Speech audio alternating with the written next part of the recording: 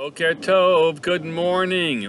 Uh, welcome to our three-minute daily dose of Torah, studying uh, Pirkei Avot again, uh, Mishnah Perek Gimel. This uh, this week, Perek Gimel, looking at Mishnah Dalid, which teaches the following: that if someone were told, Rabbi Chanin ben Chaya says, "Hani Orba Laila," someone who is up at night, V'hamalech b'der and someone who travels on a path is out there walking around uh, alone and someone who uh, who empties his heart, his thinking, levatala for for uh, unimportant matters. We'll just translate it that way.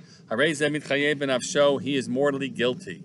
And commentaries, uh, many of them read this as all interlinked. You should read it this way. I'll, tell, I'll share with you the Bartenura's reading.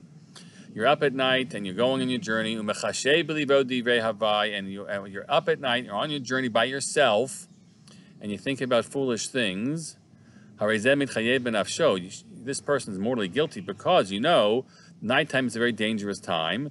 It's as manlas mazikim, uh, and the and the spooks are out. And if you're going out on your own on on on, on the road on your own, hubisakana at least him, and you're and you're endangering yourself. Let's say because of the the uh, bandits that are out there, ra'im, and other things that'll harm you.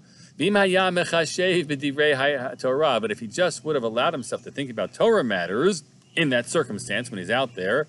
Hi, Thomas Shamarto, it would have protected him. But uh, no, you talked about foolish matters, and so you know what? You're just not protected at all. That's how the Bartenura reads it, and many read it that way. But uh, the simple reading of this Mishnah that they present to the Mishnah, Rabbi Chanina ben Chanicha gives you th- kind of three different areas in which he considers a person not taking care of himself. One is to be up late at night. This is how Meiri seems to read it.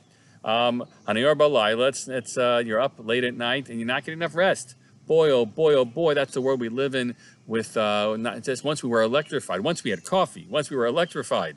Um, and then once we have uh, computers and televisions and the like, so we're up to all hours, we're not getting enough sleep. So that's mitchayev benafsho. You're not taking care of yourself. Hamalech b'derech You're, you're traveling outside, uh, and, and this stays the same. You are traveling by yourself. You're, you're really not looking after yourself either. So you should just understand um, you've done a bad thing. You have to always be uh, putting yourself in, in, in, protected scenarios. And then thirdly, hamfaneli bolavat someone who just uh, empties his his uh, his heart of, of, of important matters, instead disengages in, in, in foolish things. Um, so that's also somehow you, you haven't taken care of yourself. You haven't taken care of yourself. Uh, you'll just become a person who's, uh, the English translation likes the word desolate um, or uh, confused. But, uh, but that's really true that if, if we just keep on looking for empty things for ourselves, and what have we done to ourselves? What have we done? We, we're not responsible for our for our well-being in that.